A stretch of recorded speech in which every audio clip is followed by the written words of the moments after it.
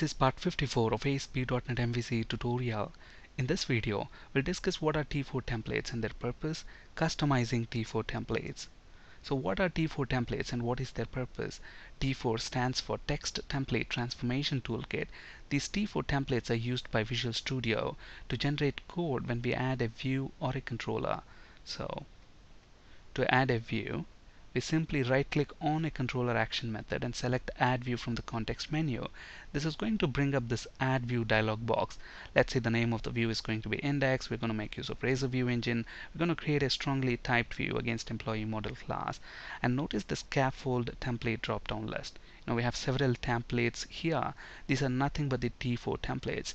Now let me select list T4 template and then when I click add this is going to generate index.cshtml view and then look at the amount of code that is generated. Now this add view dialog box has used that list t4 template to generate this code for us automatically. So the obvious next question is where does these t4 templates live? They live at this path. Look at the um, path you know we have to navigate to program files Microsoft Visual Studio 10 Common 7 IDE item templates and look at this after item templates there is this um, C sharp folder.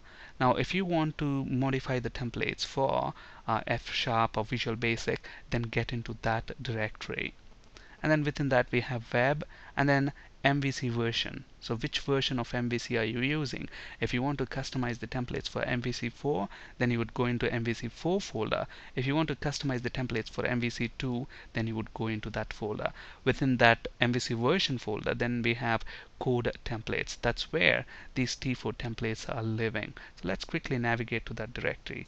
So get into the run window, C program files, and then within that Microsoft Visual Studio 10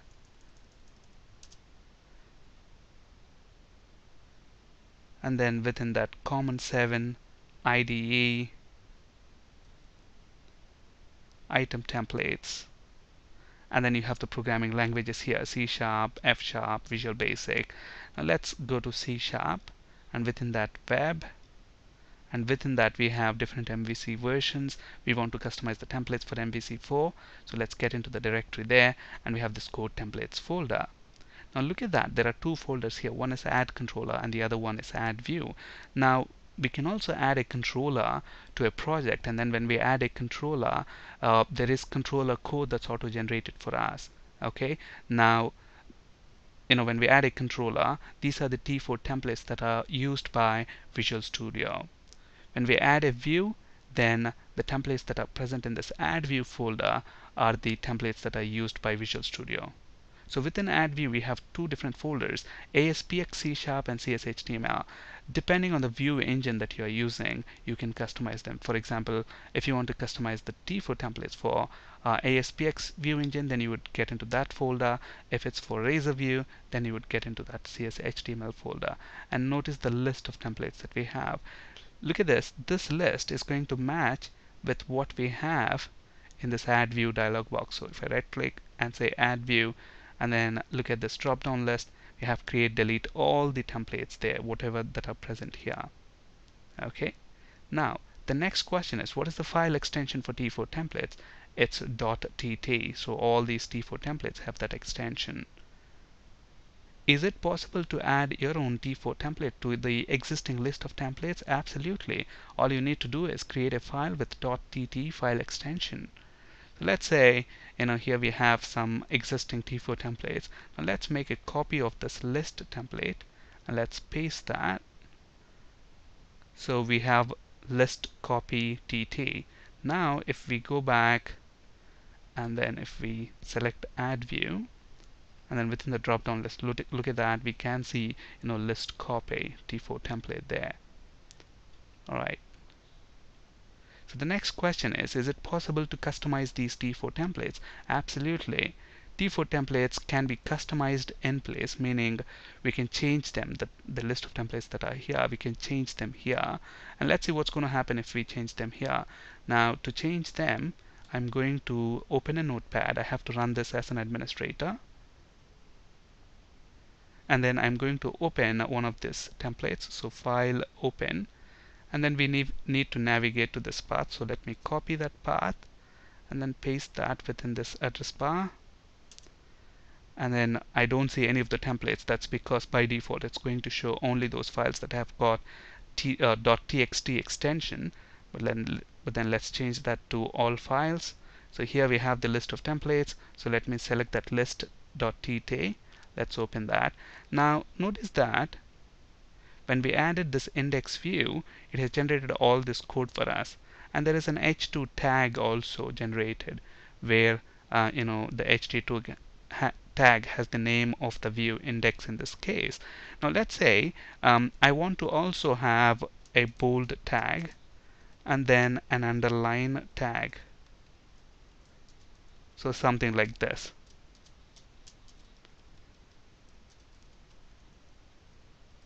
okay so we want this to be generated like this. Now to do that we can customize this list t4 template. So obviously we need to navigate to the location where that code is being generated. So this is where that's being generated. So simply here I'm going to bold that and I'm going to underline that. Obviously we have to close those tags as well. So close the underline tag close the bold tag save this one. Now let's go back to our MVC demo project. Let's actually delete this index view. And let's add the index view once again. So let's select the list template. Now keep in mind we have already customized that. So when we click add it should generate that h2 tag with bold and underline as well. Notice that we get those changes applied now, since we have changed these templates within this location, if you have multiple projects that you are creating on this machine, then all of them are going to make use of this customized template. So here I have another project MVC app. Let me add an index view here. And let's select the list as the scaffold template. Click add. So this is another project. Look at that. Um, the changes are reflected here as well because all of the projects, you know, Visual Studio by default is going to make use of templates that are present in that location. Now, there may there might be situations where you want to customize them only for a specific project. If that is the case, all you need to do is let's undo those changes. So let's get rid of these tags.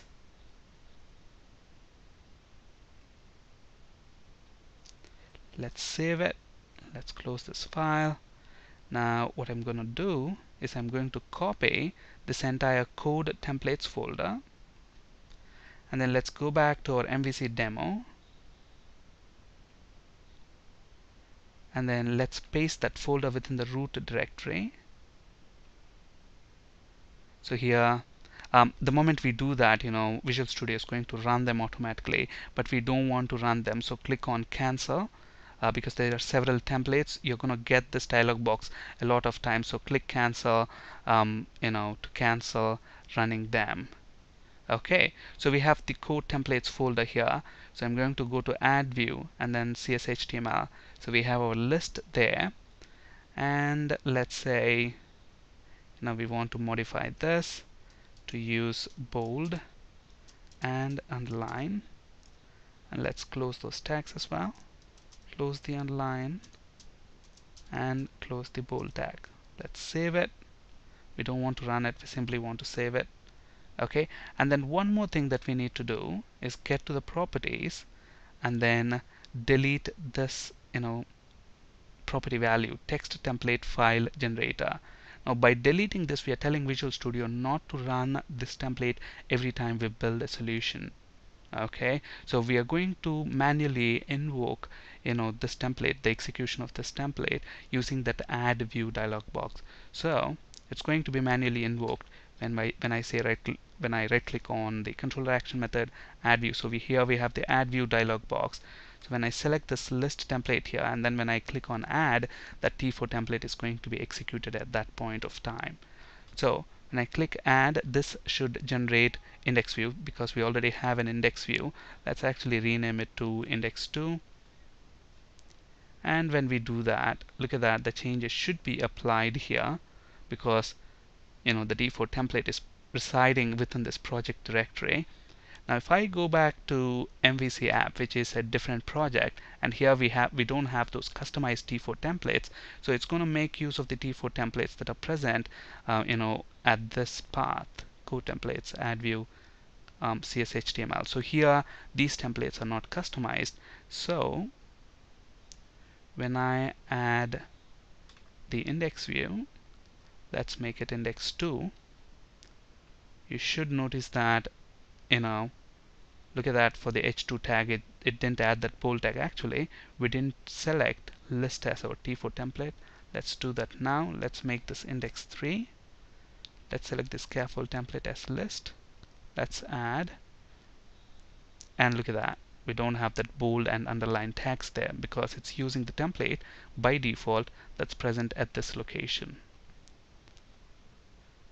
Alright this slide you can find resources for ASP.NET C Sharp and SQL Server interview questions. That's it for today. Thank you for listening. Have a great day.